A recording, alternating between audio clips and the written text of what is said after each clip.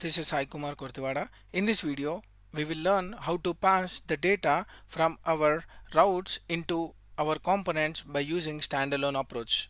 Here data means it's a data object which is given by our route configuration. I have explained about the same pattern in our modular approach. In this video we will cover only on the standalone approach. Let me quickly jump into Visual Studio Code. Here if you go into our app routing and inside this routing we have one load children that is nothing but our products and this products has a module called as products routes and inside this we have two paths one is path with an empty and we have one more route module also.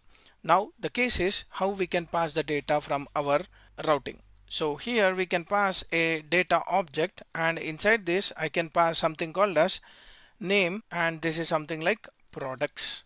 I can pass something like products and this name can be accessed by any of its child. That means if I go to product routes I have two children. One is products component and one is another module. So let me go into products component. Inside this products component I can just use a service called as activated route and inside this I can access activated route which is imported from Angular and we can use console.log of this dot activated route dot data dot snapshot or just you can use snapshot dot data and save this. If you go into the products, you can see the name as products. That is how we can pass the data from our module. And not only this one, even the sub modules. That means even if you go into the product routes, you have a component called as product component. Let me go into the product component and here let me console console.log of this dot activated route dot or just you can use snapshot dot data and this can also access the value which is passed from the route routing. For example, here I have passed name to the products and even if I go to slash 123 then I can access that products. So that is how you can access even in the subchilds or nested routes. And let me clear this, clear this. And what I'm trying to do is this is about the products. So it is coming from the parent. If I want to pass one more parameter, example data, and here I want to pass a name or just go with the subchild and that subchild should have a name called as product so I want to pass a product as subchild.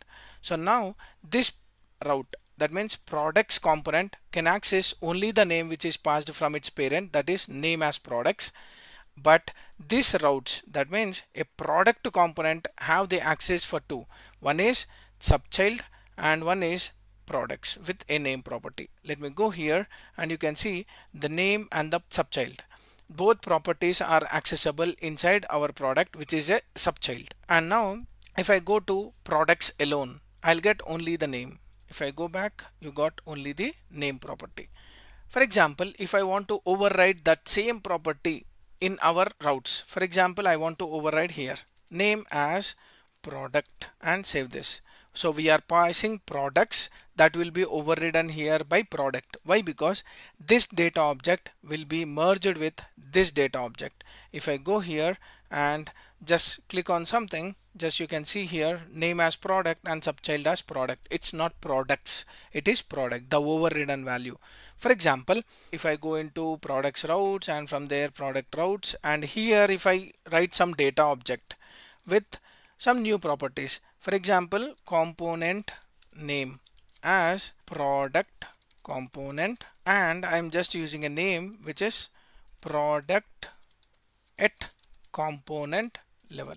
So now this will contain one name property, one component name property and it will also contains a subchild that will be subchild and also it has a name that will be overridden with this product at the component level. And this name again will be overridden by your component that is app routing.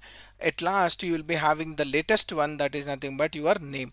So if I go here you have three properties. Component name which is at the component level and the name which is at the component level subchild which is coming from the parent of this product. And even it is overriding the name property which is passed from the root component.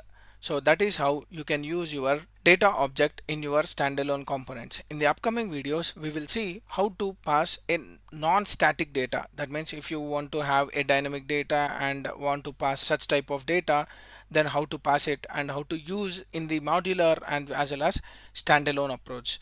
Hope you like my explanation. If you like my video, like, share, subscribe to my channel for more updates. Signing off. Thank you.